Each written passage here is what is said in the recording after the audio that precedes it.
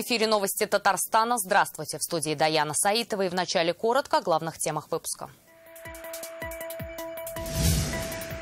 Мы им автомобили, вертолеты и газовое оборудование, а они нам специалистов по нейрохирургии с мировым опытом. И в мире буквально тоже несколько центров, один, два, три, которые вообще владеют этой технологией именно 3D в нейроиндустрии.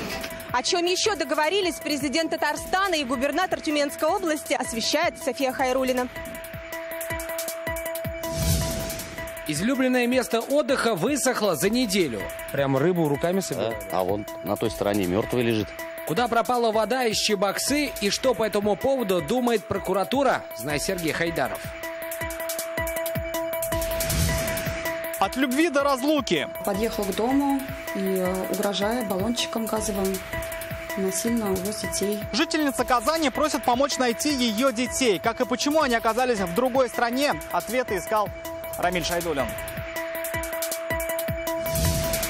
Ходят мыться в гости и экономят каждую каплю. То это то плановое отключение, то достаточное количество людей поливает огород.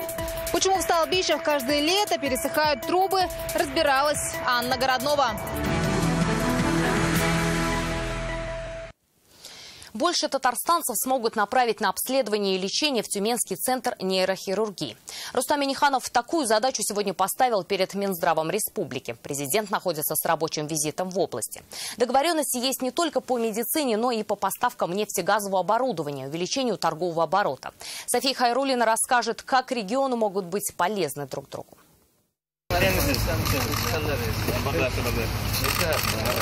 Рустам Миниханов в Центре нейрохирургии Тюмени еще 9 лет назад на этом месте было пастбище для лошадей. А сегодня супероснащенная клиника мирового уровня. Ему показывают ноу-хау центра. Гибридная интеллектуальная операционная с компьютерным томографом. За 9 лет 28 тысяч операций. Этого нигде нет в России сейчас, 100%. И в мире буквально тоже несколько центров, один, два, три, которые вообще владеют технологией именно 3D в нейроиндустрии. Уже в этом году 20 татарстанцев за ОМС прошли здесь лечение. Рустам Миниханов поручил Минздраву увеличить эту цифру.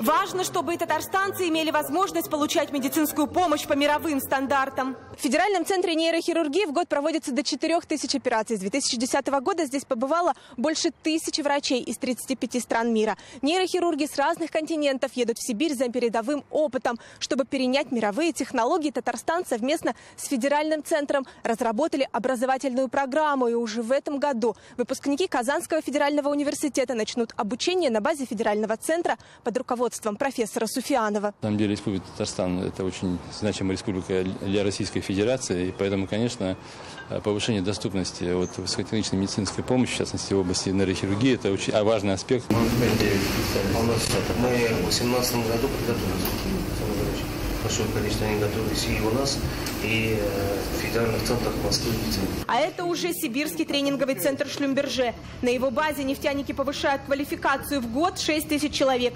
7 студентов из Татарстана. Нужно больше, сказал Рустам Миниханов. На заводе нефтепромыслового оборудования Рустама Миниханова заинтересовали технологии производства силовых насосов для скважин.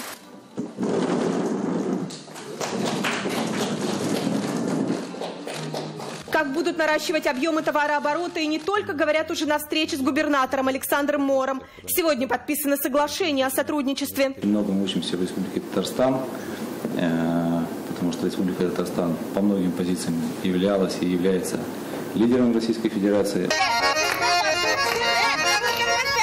Родная речь, национальная еда и традиции – это уже местный татарский центр. Активисты, ученые, учителя рассказали президенту о работе по сохранению историко-культурного наследия сибирских татар. Говорили спасибо за поддержку и просили содействия в развитии проектов. Наша задача вот, властных структур создать условия, чтобы эта история большой нашей России сохранить вот эти культурные объекты, сохранить традиции, это же красиво. Госнаграды за вклад в сохранение наследия татарского народа – это уже финал большой встречи. София Хайрулина, Рустам Салтукиев, ТНВ «Тюмень». Оставляют письма без ответа, не приходят на прием граждан, копят вопросы годами. Исполняется ли закон об обращении граждан? Это сегодня обсуждали на выездном заседании Президиума Госсовета Татарстана в и решали, как сделать так, чтобы власть на местах была ближе к народу. Что для этого предпримут, выслушала Зарина Ахметова. Прием практически в каждом окне. МФЦ в Лаишево открылся всего пару лет назад. Сейчас местные жители вздохнули с облегчением. Насущные проблемы решаются быстро и без очереди. Езжу только сюда. Здесь, э, видите, в общем, все, все условия. В этом убедились и депутаты республики. Однако оперативность и заинтересованность, как они отмечают, присущи не всем учреждениям. Чаще всего ведомство игнорирует срок рассмотрения обращения. По закону он составляет 30 дней. А ответ о том, что письмо гражданина получено и будет рассмотрено, иногда человеку вообще не отправляют. Как исполняется закон? Этому посвятили выездное заседание Президиума Госсовета. Люди жалуются на то, что не могут попасть к главам районов вынуждены обивать пороги, пишут министерство и ведомство, получают формальные отписки. Так в черном списке оказались Казань, Челны, Азнакаево, Буинск, Заинск, Апастовский и Мензелинский районы, а еще Елабуга. Руководитель исполнительного комитета муниципального образования города Елабуга Марданов не дал ответ на три обращения граждан. В Бугульме обещанного ремонта слива воды на одной из улиц ждут уже пять лет. В стандартных отписках меняется только дата. Последнее письмо от граждан пришло в мае 2019 года. Обратились к нашему депутату с точно таким же ответом. То есть они даже не удосуживаются, к сожалению, некоторые работники, да, ну, хоть что-то новое внести в ответ – в прошлом году депутаты Госсовета рассмотрели почти 3000 обращений. Постоянно проводятся мероприятия по повышению эффективности работы с письмами, заявлениями граждан, применению новых форм работы с предложениями, жалобами и запросами населения, организации качественного и оперативного рассмотрения обращений. Это забота о людях. И мы должны, чтобы эта система работала без сбоев. Ответственность в этой работе у конкретных должностных лиц – надо поднимать. А значит, одного контроля недостаточно. Должна возрасти и мера ответственности. Так прокурор республики предложил не ограничивать наказание за нарушение штрафом, а в крайнем случае отстранять от должности. Зарина Ахметова, Ренат Сафин, ТНВ, Лаишевский район. Купальный сезон в Татарстане на грани срыва. Из 11 пляжей республики только два готовы к приему отдыхающих, а позади уже 20 дней лета. Об этом сегодня сообщила глава Роспотребнадзора Марина Потяшина. Пока приняты пляжи Альметьевска и Нижнекамска. Остальные не прошли санитарную проверку. Здесь можно подцепить кишечную инфекцию, гепатит А и даже холеру. Только в этом году, по данным МЧС, из-за купания в неположенных местах, а также в состоянии алкогольного опьянения, на воде уже погибли 14 человек. Это на два больше, чем за этот же период прошлого прошлого года. В адрес глав муниципальных образований и эксплуатирующих организаций было направлено письмо о необходимости установки аншлагов о запрете купания. Информация о качестве воды водоемов еженедельно размещается на нашем сайте и доводится также до населения через средства массовой информации. Купание в несанкционированных местах, еще раз повторяю, не допускается – так как это представляет потенциальную опасность для здоровья и жизни людей. Много воды утекло, а вместе с тем высох водоем и погибла рыба. В нашу редакцию обратились жители поселка Чебокса. Дело в том, что одноименный водоем, излюбленное место местных рыбаков, обмелел за считанные дни. В интернете даже появились ролики, как люди буквально собирают рыбу руками. На месте уже побывали экологи и сотрудники природоохранной прокуратуры. Что они выяснили и кого винят в произошедшем, знает Сергей Хайдаров. Вот видите, кустарник там. А почему Африка? Ну, не знаю, всю жизнь так называли Африка. Там прям вот с этого бугра прыгали всегда, разбегались, прыгали и дна не доставали никогда. Кажется, Константин Никешин знает здесь каждый сантиметр. Живет в поселке неподалеку уже 27 лет, помнит, как еще ребенком плавал с друзьями в Чебоксе. Говорит, это как маленький курорт для местных. Нам Большая рыба здесь водится? Ну да, здесь хорошие гибриды были крупные. Ключевое здесь слово «были». Мужчина рассказывает, вода из водоема ушла за неделю. Рыба осталась умирать на иле, рыбаки этим воспользовались.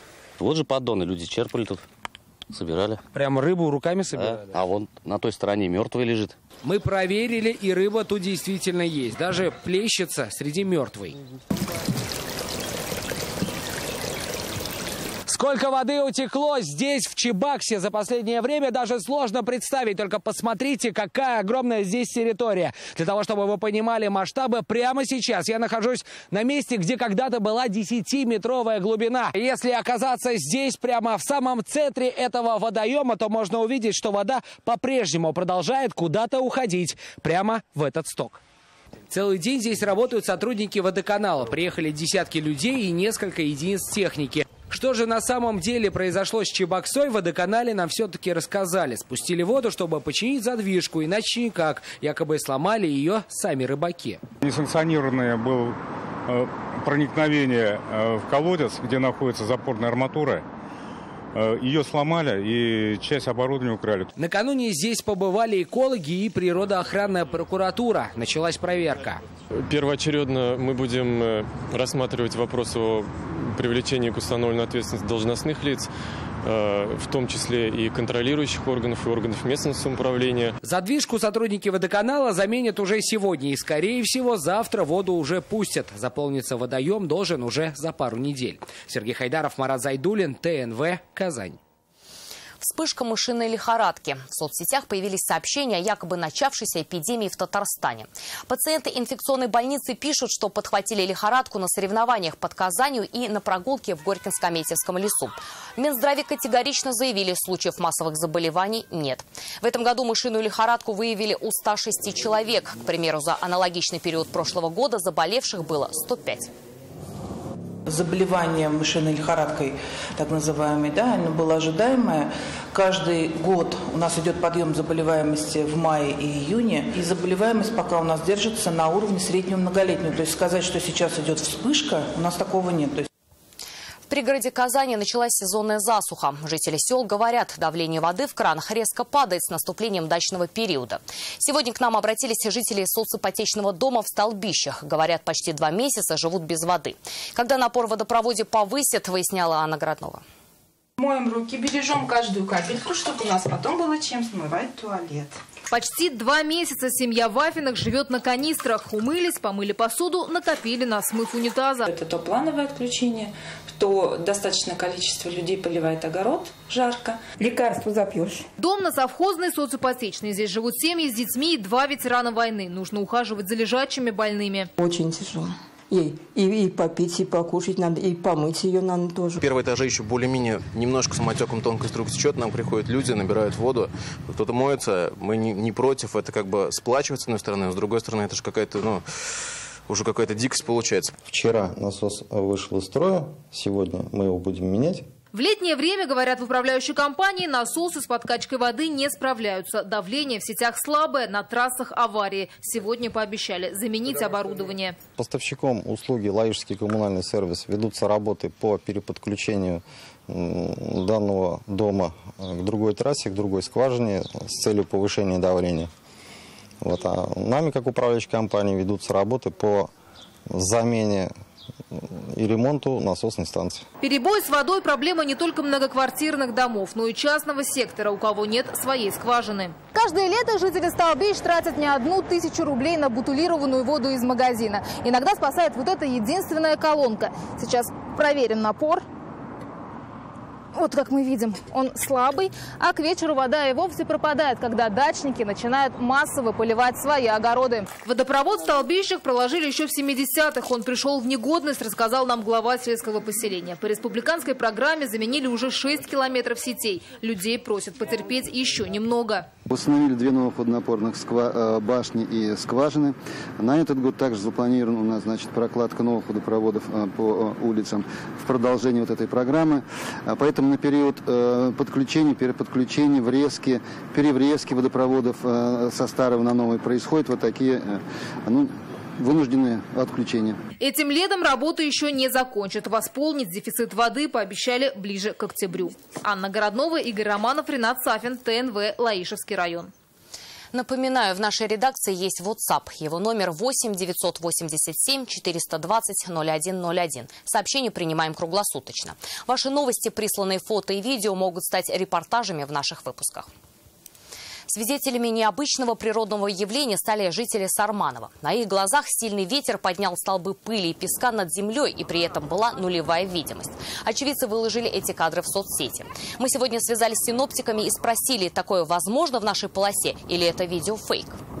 Пыльная буря, которая наблюдалась, она могла быть именно вчера на восточной части республики Татарстан, так как были соответствующие ветровые условия. Ветер составлял от 17 до 23 метров в секунду. Поэтому, естественно, вот переметание частичек пыли, грунта, легкого взвеси, он был возможен. Это новости Татарстана и далее в выпуске. От любви до разлуки. Подъехал к дому и, угрожая баллончиком газовым, насильно увез детей. Жительница Казани просит помочь найти ее детей. Как и почему они оказались в другой стране, ответы искал Рамиль Шайдулин. Сбор подарков на Сабантуй. Хотим поднять настроение горожанам, чтобы они в преддверии нашего большого любимого праздника Сабантуя жили в. Как он будет проходить в столице, расскажет Салават Мухаммадуля. Создать в России больше территорий опережающего социально-экономического развития. Об этом говорили сегодня в Москве в Доме правительства на заседании комиссии по региональному развитию. А Татарстана участвовал Алексей Песошин. Экономические зоны с льготным налоговым режимом используются спросом у инвесторов. Сейчас их в России более 100. Основная тема встречи – финансирование нацпроектов в регионах. На их реализацию, а также в целом на межбюджетные трансферты предусмотрено 2 триллиона 372 миллиарда рублей. Деньги должны дойти до каждого муниципалитета это вовремя, заявили сегодня в Доме правительства. Для достижения целей э, у нас э, заданные сроки. Важная задача становится отрегулировать бюджетные отношения таким образом, чтобы максимально сжатые сроки довести денежные средства до конкретных исполнителей. Вот это сейчас наша с вами задача часто разводятся, становится больше неполных семей и при этом падает рождаемость. Сегодня эти и другие проблемы рассмотрели в Общественной палате Татарстана. Особое внимание спикеры уделили занятости и переподготовке молодых родителей, развитию центров помощи для женщин и семей с детьми, оказавшихся в трудной жизненной ситуации. Обострить тему должен фестиваль «Татарстан за жизнь». Он пройдет в Казани в конце октября. Цель фестиваля – собрать наиболее эффективные социальные технологии за счет семейных ценностей, традиционных семейных ценностей, которые на данный момент у нас утрачиваются, к сожалению. В связи с этим у нас как раз э, кризис семьи, а, демографический кризис, в том числе и в Республике Татарстан. А, рождаемость падает четвертый год подряд. Близится к развязке скандальная история с вывозом детей в Казахстан. Напомним, уже неделю мама двоих мальчиков Айгуль Зайнулина просит общественности и правоохранительные органы помочь ей вернуть детей домой. Первыми об этом узнали пользователи соцсетей. Там Айгуль сообщила, детей без ее ведома увез их отец. По решению суда мальчики должны жить у мамы и периодически видеться с ее экс-супругом. В нашем эксклюзивном материале Рамиль Шайдулин о том, какой поворот приняла история после вмешательства судебных приставов. Он вам не даст жить, мы ничего не можем. Фотографии в компьютере, да редкие телефонные разговоры. Вот что сейчас дает Айгуль Зайнулиной надежду на то, что с ее сыновьями все в порядке. Она рассказывает, неделю назад, когда сама Айгуль была на гастролях, а дети с родственниками, девятилетнего Амирхана и десятилетнего Тамерлана забрал и увез их отец. Без вещей, без э, средств гигиены, просто людей напугав, детей напугав, увез и скрылся в неизвестном направлении. Сейчас я узнала, что мои дети с бывшим мужем находятся в Казахстане.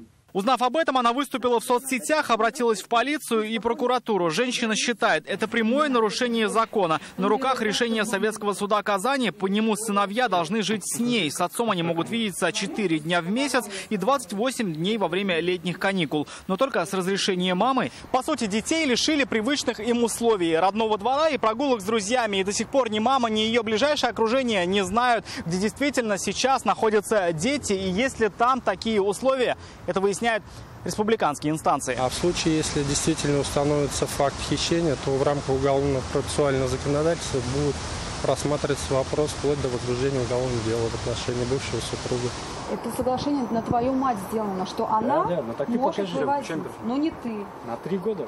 Экс-супруги встретились у судебных приставов. Оказалось, что мужчина действительно оставил детей у мамы в Казахстане, а сам вернулся в Казань, где и объяснил приставам свою позицию, считая, что вправе вывозить детей из страны. В объяснении сказано, что и сама супруга лишала его возможности встречи с детьми в дни, положенные законом. Сама Айгуль уверяет, лишала не она. В эти дни сыновья активно выступали на мероприятиях. Так как э, в дни летних каникул, 28 календарных дней, э, суд Советского района определил мне со мной пребывание детей. И э, плюс 5 дней за май, которые не исполнила по решению суда Зайнулина Айгуль. Эти, мои дети будут находиться эти дни со мной. Только приставы требуют, чтобы отец привез детей обратно, так как он нарушил постановление суда. В рамках исполнительного производства приставам вручено требование в шестидневный срок со дня вручения требования вернуть детей на территорию Российской Федерации. Неисполнение данного требования влечет за собой ответственность. У мужчины меньше недели, столько же и у бывшей жены до встречи с детьми. Детей пока со мной нет, я много лет верила этому человеку. И даже в этой ситуации, вот до вчерашнего дня он мне звонил, говорил, что давай договоримся, давай мирно решим. А потом идет к приставам и пишет на меня заявление. Что сейчас с сыновьями, по словам Айгуль Зайнулиной, ей остается догадываться. Уже несколько суток она не может с ними связаться. Рамиль Шайдулин, Ильшат Мухаметов, Данил Филатов и Александр Лобанов. ТНВ. Казань. Какие татарстанские критерии бедности распространят на всю Россию? Читайте в интернет-газете «Реальное время». Решил разнообразить свою жизнь. В интернете появился забавный видеоролик, катающийся на качелях вороны. Хитрая птица нашла способ, как скоротать время и, разобравшись с устройством на детской площадке, устроила себе веселый аттракцион на глазах у прохожих. Прикольно. А что-то нас красить так никто не пришел больше, да?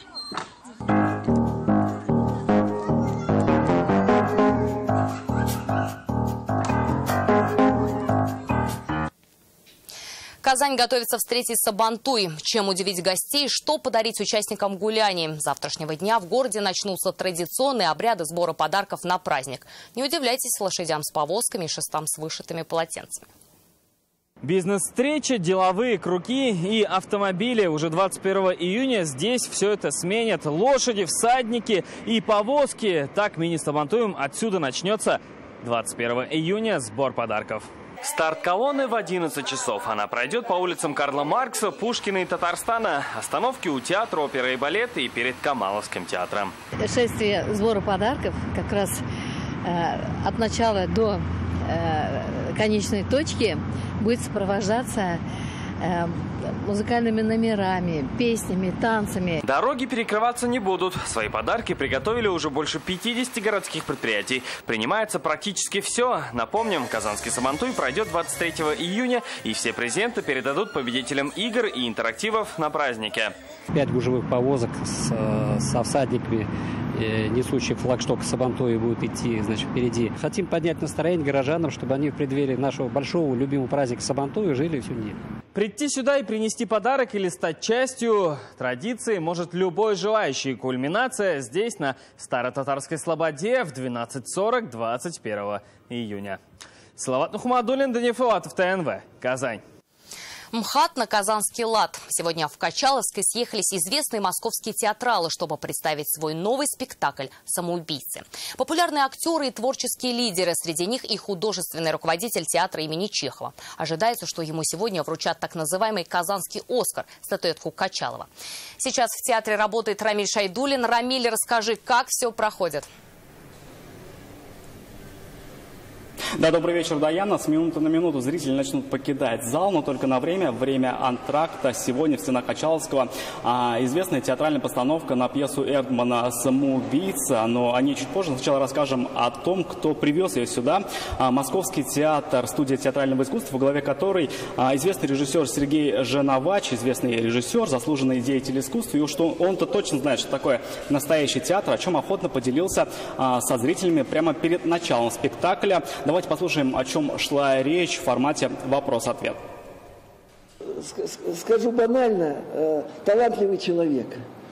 Потому что э, я думаю, что профессиональный артист да, или человек театра, э, что большая часть нашей жизни мы проводим в репетициях, мы проводим в театре. Да? Так, так уж заведено, так все устроено. И хочется общаться с талантливыми людьми, с интересными людьми. Да, вот такого мнения мастер в настоящем артисте театра, и с этим, наверное, трудно не согласиться, стоит только посмотреть на то, кто сегодня вышел на сцену. На сцене целая когорта известных актеров как театра, так и кино. А, в их копилке, например, такие хиты, как «Утомленный солнцем 2» или «Духлес». В общем, а, зрители с неохотой отпускают их на антракт и с нетерпением ждут обратно. Чем занимаемся мы, тоже ждем. На этом у меня все. Даяна? Спасибо, Рамиль. На такой творческой ноте мы завершаем выпуск. Еще больше новостей в наших соцсетях ВКонтакте и Инстаграм. Вечерний эфир продолжит программа «Вызов 112», а сейчас прогноз погоды. До встречи в 21.30.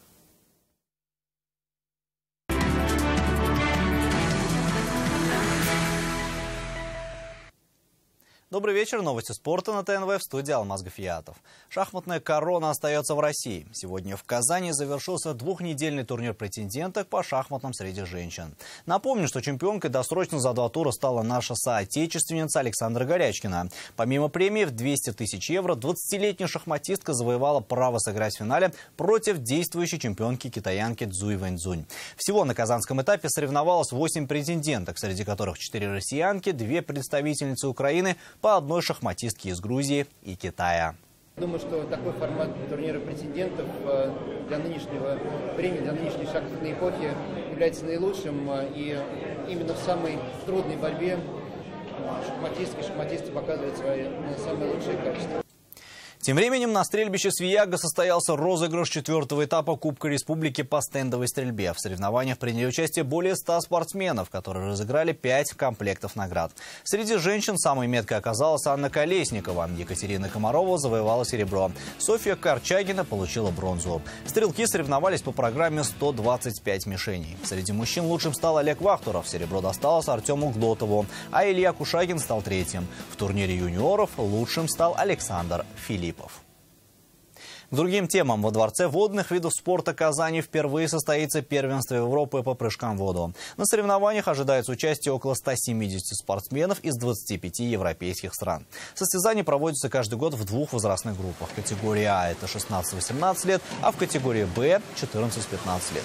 Программа включает в себя индивидуальные синхронные прыжки с трехметрового трамплина и 10-метровой вышки, а также командные соревнования. Отметим, что в 2017 году первенство проходило в Бергене в Норвегии а в прошлом году турнир принимали Хельсинки. И это все новости спорта к данной минуте. Будьте здоровы и занимайтесь спортом. До свидания.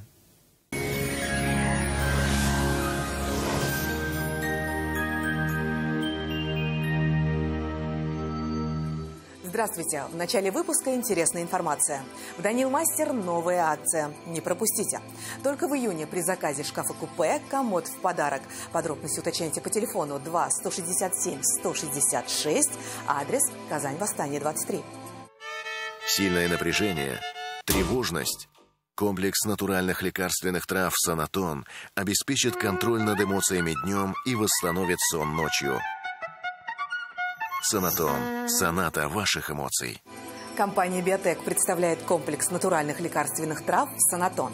«Санатон» обеспечит контроль над эмоциями и восстановит сон. По данным сервиса Яндекс Погода, 19 июня на юго-востоке Татарстана ожидается облачная погода с прояснениями. Местами с дождем, дневная температура 23 градуса. На северо-востоке, Нижнекамске, Набережных Челнах, Елабуге также без осадков не обойдется, плюс 24. На севере Татарстана Менделинске, Агрызи, Менделеевске до 25 тепла, местами с дождем. Для северо-запада 19 июня будет теплым, плюс 24, но дождливым. На юго-западе также пройдут дожди, ночные часы и днем. В центральных районах Чистополе, Альметьевске, Мамадыше столбики термометров покажут плюс 22, временами с дождем. Федеральная сеть медицинских центров «Доктор Ост» лечение самых сложных заболеваний позвоночника и суставов без боли и хирургического вмешательства. За 10 лет в 10 городах России врачами клиники отменено более 10 тысяч операций. В доктор Ост обращаются с самыми тяжелыми заболеваниями позвоночника и суставов. Более 30 тысяч пациентов нам удалось спасти от необходимости проводить операцию и ставить протез. Приходите в доктор Ост. Убедитесь, что вернуться к жизни без боли это просто. ЖК «Грин» приглашает на открытие продаж третьего дома. Вас ждут угощения, развлечения и выгодные предложения. 25 мая в 10 утра на архитектора Гайнудинова 26. Телефон в Казани 233 03 03. Жилой комплекс «Грин» – это свежий воздух и речка рядом. Это 5 минут до остановки Академии правосудия в Советском районе. Это последние квартиры в сданном доме и выгодные цены. Звоните в ЮИТ 233 03 03. В Казани ожидается переменная облачность. Днем местами возможен дождь. Температура воздуха 23-25 градусов.